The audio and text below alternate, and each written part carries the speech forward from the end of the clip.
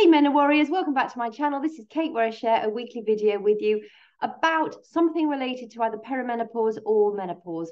Today I am talking about hot flushes, hot flashes, and what they are, and also how you can help to manage them if it's something that you struggle with particularly. Hot flushes were something, one of my worst ever symptoms. I led up to the menopause having lots of really heavy duty night sweats, which I just figured were just night sweats. And it turns out they were perimenopause. Um, I was quite young when I went through the perimenopause. Uh, I think I was through with the entire thing post menopause by 41. Um, my nurse and doctor both didn't think I was in perimenopause. Um, and so it's been a journey of discovery. But because hot flushes was something that I used to really, really struggle with, I wanted to just explain why we get them and also ways that you can help reduce them significantly. Um, I still get hot flushes occasionally, and that is when I'm not looking after myself very well. And I've learned how I can actually get rid of them 100%. So that's what I'm going to share with you today. Firstly, just to understand the relationship between estrogen and why you might be getting hot flushes. So as we go through the menopause, all our sex hormones fall, but estrogen helps us regulate our body temperature in the brain, we have a region called the hypothalamus, and that helps to regulate our body's temperature. The messaging gets a little bit confused as our estrogen levels fall. And so, essentially, what might not be triggered as a hot flush in normal days, when your hormones are erratic, it can lead to that miscommunication. So the body thinks it's overheating and makes you sweat profusely. That is it in simplistic terms. You find also that some people get hot flashes and then get the chills afterwards. Sometimes I get the chills, but rarely. Normally it's just a hot flush. So there is that center of the brain, the hypothalamus, that is related to the falling estrogen that is actually triggering your vasomotor reaction to the falling estrogen. There are also neurotransmitters involved, serotonin and norepinephrine, and they also regulate the body's temperature. As our hormones are fluctuating, again, the signals can get misinterpreted, and those can also have a negative impact on how you manage the, the sort of the heat dissipation within your body, which can also lead to more hot flushes. But it's also important to know that while you have these falling, fluctuating hormones, That is so much that you can do to really modify your response. A lot of those are what you eat, what you don't eat, what you drink, what you don't drink, lifestyle factors. And so that holistic approach is really important for you to understand. And I will be sharing more about this during this video today. I mean, for instance, in the workplace, if you are working and you're menopausal, you're struggling with hot flushes, it can be really embarrassing. I remember the one that really stands out for me. I was talking to a professor in a big university building, and it was before I'd sort of really got to grips with the fact I was perimenopausal. And I remember having this volcanic explosion. And literally within seconds, I could feel myself going red. Then I became really uncomfortable. I could see he was thinking, what the heck's going on with her? Then literally, I just burst into sweating. I'm not normally a sweaty person. And I could feel it dripping down my back. I could feel it running down my temples. It was just horrendous. And, you know, if you're in the workplace, particularly if you're surrounded by a lot of men, it can indeed be really difficult for you. So, there are several things you can do. I'm not going to talk into the, about the workplace in any great detail today, but you know, if you have an HR department, go and have a chat with them. See if there is any menopause initiative that's already been started. If there's not, consider suggesting that one gets started. You could even be the catalyst for that.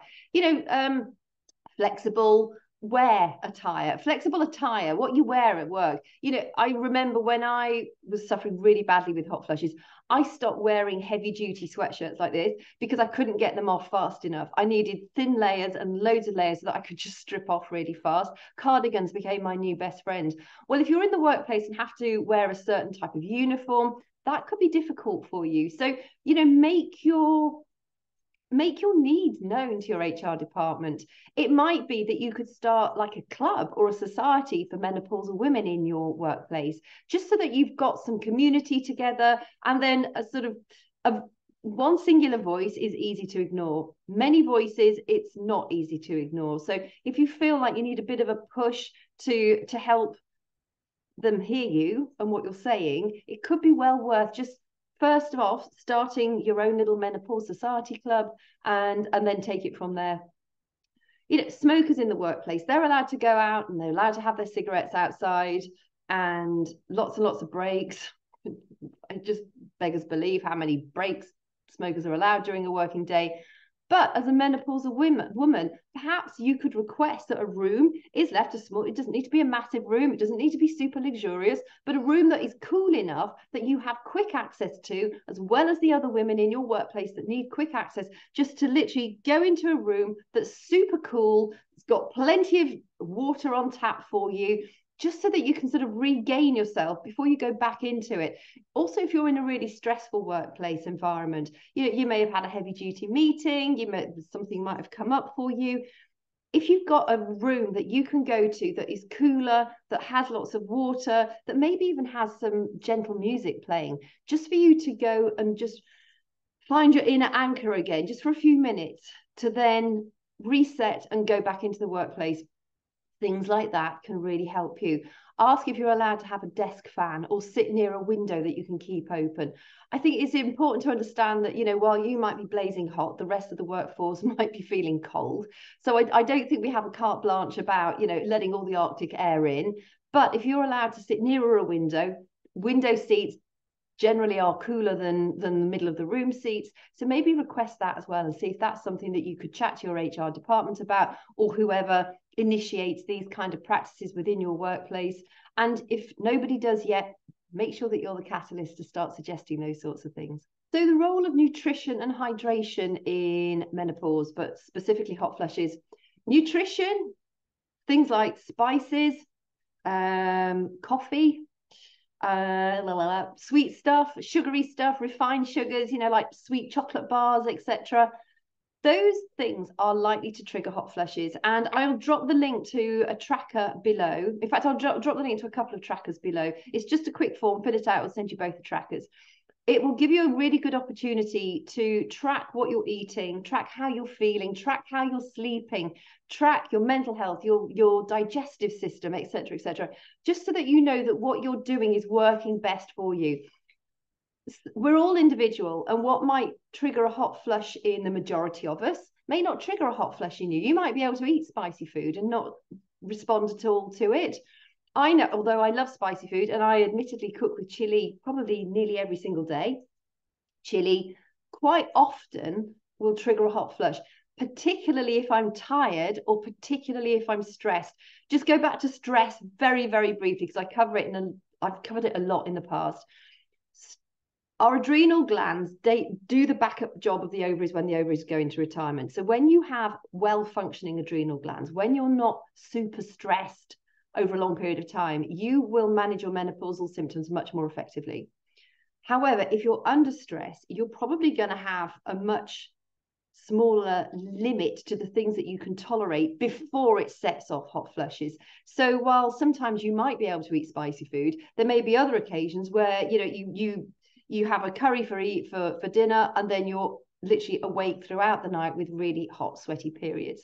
So just be mindful of that. Again caffeine when you have a coffee often you'll find that you'll have a fl- hot flush immediately afterwards or very soon afterwards same with sweet chocolate bars cookies refined sugars on the whole tend not to be very good if you're starting to get thirsty or dehydrated, by the way, if you're thirsty, it's already a suggestion that you're becoming dehydrated. So always make sure you glug a big glass of water. By the way, apologies for the blown out look of this. The light has fallen so fast today, and it's it's I'm juggling trying to make it look vis- visually appealing ish so it's a bit kind of blown out. I, I, I clearly need to get better better quality equipment. Um, but just be mindful that if you're thirsty, that that will trigger a hot flush, and that for me that triggers quite a nauseating hot flush. I have types different types of hot flushes. I've realised, and the thirsty one is a really unpleasant one. Make sure that you're eating plenty of phytoestrogen rich foods, things like soy based products, uh, tempeh um what's it called tofu you know that sort of thing um antioxidants filled foods so eat a wide range of fruits and vegetables try and eat a lot of different colors Uh, we tend not to eat many of the dark reds and blues. So, you know, things like blueberries, raspberries, black currants, that sort of thing. Oh, it's making my mouth water. Make sure you're trying to, and aubergines, uh, cruciferous vegetables are incredibly good for you. Uh, those actually contain, when you eat a lot of cruciferous vegetables, it contains something called DIM, D-I-M. I'm not going to try and read the full word because I always get it wrong, but that is really good for you. So cruciferous vegetables help sort of mop up that estrogen dominant effect that we have as we're going through the menopause. That will be very beneficial in helping manage your hot flushes. Lots of, well, eat enough seeds and nuts as well. Things like flaxseed are incredibly good for you. They're also really potent source of protein. I'll drop the healthy protein guide in the link below as well. You're more than welcome to, to have that. I started that because I realized I was not eating enough protein through the menopause. I need to go up. And it literally classified food groups as the, the highest protein content down to the lower ones. And, and it's quite surprising in actual fact. Flaxseed um, is one of the ones right up there at the top. So make sure you're eating milled flaxseed because it's quite hard for our, well, I don't think our bodies really digest the full flaxseed. So have it milled, keep it fresh because it goes rancid very fast. And uh, I mean, you'll be fine if you've got a bag and you work your way through it, but it, it does tend to go rancid quite quickly if you don't, you know, if you sit, leave it in your cupboard for several months on end. Lifestyle adjustments will also help you. So if you do regular exercise, I would recommend you go more low to zero impact. It's going to be beneficial for your joint pain too. And um, you are going to help reduce the stress response that you get from your workouts. You're probably going to enjoy them a whole lot more, but that is going to give you more of a sense of achievement when you do those sorts of workouts. When we are spiking our cortisol over a long period of time with a heavy duty workout or heavy duty cardio or fast jogging consistently, it's not good for us. And it's really not good for our menopause hormones. You will find you will burn fat and lose belly fat more quickly by going more low impact and work out having workouts that still challenge you, but in a much more holistic way bearing in mind that we need to be kind to ourselves through our menopause. If you need any help with that, again, so many links I'm sharing today. I'll drop a link beneath this. Uh, get your sparkle back, fill that form in. Um, I will then be in touch with you and will help put you put together a plan that will meet you where you're at and help you reduce your menopause symptoms, but also help you keep lean and strong, mobile, flexible, stable, etc. Mindfulness techniques can be really beneficial as well. I think one of the best mindfulness techniques, one that I use that works really well for me, I'm a complete squirrel brain. I start my day with three things I'm grateful for, and I end my day with three things I'm grateful for. It just helps me reconnect with the really important things because I mean days they, they days can take over can't they and you can go to bed so frazzled and it's just like ah everything's been reactive and I find that by the time you know if you can just be grateful for three things in the morning three things in the evening it just gives you that sense of groundedness. You might find that meditation really works for you. Things like yoga, walking in nature. Walking in nature is does it for me as well as exercises. Um, I am absolutely useless at meditation, but it doesn't mean to say that won't suit you or somebody else. So again, we are all completely different. What works for your sister, your mother, your best friend, your neighbor may not work for you. So don't feel a complete failure if you don't get into the meditation thing or you don't get into the exercise thing. There are plenty of other things that you can do.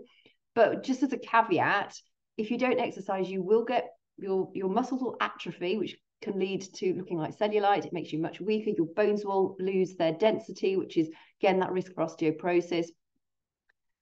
Strength training really is one of those things that we all absolutely should do through the menopause if we want to be healthier, more energized, and just get to an older age fitter, really. Gut health is also incredibly important. Gut health is important for literally every aspect of our life, but as well as going through, you know, making sure you're not constipated, making sure that you haven't got leaky gut, that you're not struggling with IBS type symptoms. When our gut is healthy, and I found this out not long ago. Oh God, I will drop another link to the four week gut healing system that I did. I my menopause symptoms absolutely vanished it didn't take any major effort. We ate loads. I lost weight. I slimmed down. Um, literally, I, I felt like I was almost tied to the kitchen because we get to eat so much. But it was a beautiful experience. It was only four weeks. My symptoms went. Um, I ate more than I ever normally do, lost weight, drank lots of water. I still actually did have some wine, which I technically you're not supposed to have, but I figured it was red. Let's get those berries and the resveratrol in. Um, not every night, but I just being completely honest, I still drank wine because I think a lot of us think, oh, I would love to do a four week gut healing system, but I really like my glass of wine in the evening. So I just want you to know that I did, and you can. They'll say you shouldn't on the program, of course, but you can. And it is, I'm probably not supposed to say that, but anyway, I'm, I'm, I'm just this is real life. I'm, I'm not going to pretend anything. Um, it worked really, really well for me. My symptoms, all of them, completely went, completely vanished, and it was quite miraculous. We balanced our macros. So essentially, depending on what your ideal calorie target is, you get allocated various container groups and your i mean for me i was allowed six vegetable containers a day which i have to say as much as i love veggies i struggle to eat all six um, you're allowed four protein containers a day again i struggle to eat all four four different types of carbohydrates. I struggle to eat all four of those.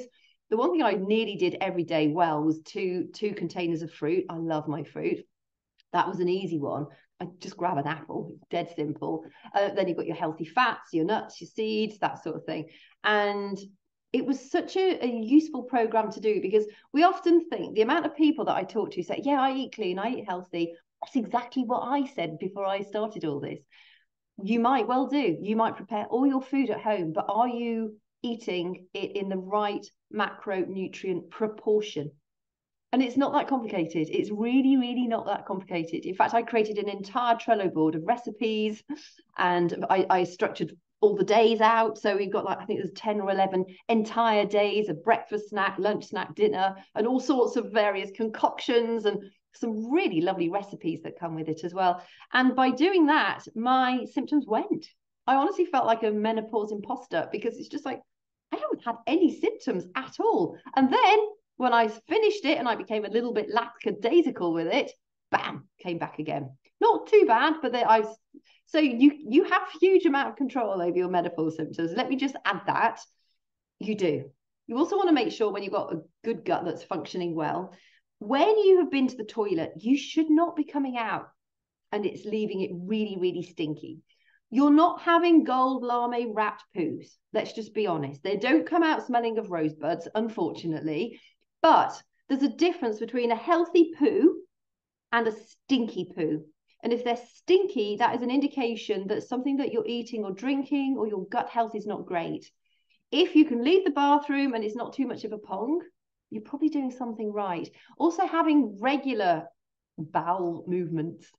Um, when your gut is good, you don't want to be having too much bloating or constipation because the longer that shit stays in your body, it's not good for you. You're, you're hanging on to a big pile of poo that is giving up. You, you imagine what that would be like in a bucket sat in your bathroom. It'd be pretty stinky and it would not be nice for the environment. Same thing happens in your colon. It's pretty stinky it gets pretty gassy it can get very hard if it stays there for too long. You want the stuff to pass through. That's one of the reasons why lots of vegetables are so good for you because they're very high in fiber lots of water as well and that does help to push it through if you struggle with constipation give it a try try it for a good week probably eat more fruit than you're doing right now, eat loads of vegetables, drink loads of water, enough water. You don't have to drown yourself in water, but drink plenty of water throughout the course of the day. I drink six pint glasses a day of water. You're not going to do any harm by drinking six pints of, of water a day. And just see if that eases your constipation if you struggle with constipation. It definitely should do. Also, a wide range of pre and probiotics. So, prebiotics feed the probiotics. So the probiotics are what we know as the gut bacteria. When you hear of people saying, oh, you want healthy bacteria in your gut, those are the probiotics. The prebiotics, well, if you eat lots of vegetables, you're fine because prebiotics really is that fiber. Um, different vegetables have different sort of values of prebiotic, but if you're eating a wide range of vegetables and fruit, you're absolutely fine. Digestive enzymes can make a difference. I drink a superfood shake every single day that contains adaptogen herbs. They help me manage stress more effectively, but it also contains pre and probiotics and digestive enzymes. So I know that I'm really looking after my gut on top of the basic lifestyle things that I'm doing, like drinking plenty of water, like exercising, like eating loads and loads of vegetables. So I really want you to understand how much power you have at managing your hot flushes or your hot flashes more effectively. I challenge you, try tracking, download the trackers, use them to see if you can notice a pattern. I'm pretty sure you will do. If you struggle repeatedly with things, might even be night sweats. Actually, night sweats and hot flushes are slightly different beasts, but they have they sort of come under the same umbrella. Um, track your food, track your drink, track your stress, track your bowel movements, and track your mental health. How are you feeling? Because some days you can wake up and you just think, "Oh yeah, that I'm I'm invincible today. Let's do it." And then other days, far too many, you wake up thinking, "Oh God, what shall I do? I don't know. I've got a plan. Have I got a plan? I forgot. Did I have a plan? Did I actually think about it? Did I write a to-do list? Have I got a to-do list? Where did I put my to-do list? Did I start one? Do you know what I mean? So uh, that happens to me too. Some days I feel like I'm on fire. Some days I can start feeling like I'm on fire and then it declines very rapidly. Other days it's just like I feel like I'm pea soup all day long. And but when we're tracking, it helps. It's like we become a super sleuth. We have a magnifying glass on what's going on underneath the exterior. And most of that is how you're managing your stress, what you're eating, what you're drinking, how well you're sleeping. And you might just say, Well, I don't sleep. Uh, my sleep is terrible because of the hot flushes, the anxiety, da da da da da. I promise you, everything that I have shared in today's video with you will also enhance your how you are managing your menopausal symptoms. It won't make your symptoms get worse, enhance. It will help you enjoy your menopause more effectively. So I'd be really interested to hear have you have you tracked? Please comment below what share your experience. Do do you struggle with hot flushes or hot flushes? Have you found that something by doing something particular it makes them worse? or that you can help alleviate your hot flushes or flashes. I'm saying flushes, flashes because you know we're global, and in the UK we say flushes, and across the pond they say flashes. So flush, flash. I don't mind. It's like niche, niche. Don't mind. Potato, potato. Um, so thank you for your company today. Again, I apologise for the terrible lighting. Uh, I've, I've tried my hardest and it's still rubbish. So anyway, that's just the way it goes. Um, I hope you have a fabulous week and do download those myriad resources that I set up suggested to you today. Um, just incidentally, while I'm thinking about it, you might struggle with procrastination and productivity and that fear that I mentioned just a few minutes ago. I will also drop the link to my productivity and fear busting guide because that will help you clarify your thoughts, but it also goes into quite a lot of detail. I, I'm also a psychotherapist and specialize in anxiety. And fear holds us back from achieving a lot of things that we could do in life. I've just recently renovated a casement window. I was terrified to start it because I've never done one before and it was badly rotten. It's just turned out so much better than I ever thought it would do. And if I hadn't tried and started, I would never have known. I'd have always wondered. And at the end of the day, if the worst happens, well, it's not the end of the world. So that productivity and fear busting guide will really, really help you bust through your limitations and help you take action on those things that you probably know you need to, but for some reason you're holding off. Again, thank you so much for your company. It's been a blast, and I look forward to chatting to you next week.